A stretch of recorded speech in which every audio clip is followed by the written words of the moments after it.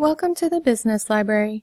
I'm Melissa Johnson and this video will demonstrate how to find market research and associations in Business Insights Global. From the Industry page, on the left menu, you'll see options to view market research, market share reports, and associations. Let's choose Market Share Reports.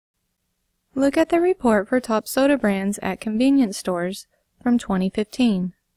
In this report, you'll find Pepsi's market share and a reference of where the data came from. Another good source of information are industry associations. To find these, click on Back to Search Results. Then click on the Industry Profile link. Now choose Associations from the left menu. Here you can see national and international associations for your industry. As always, if you have any questions, please do not hesitate to contact your business library for more information.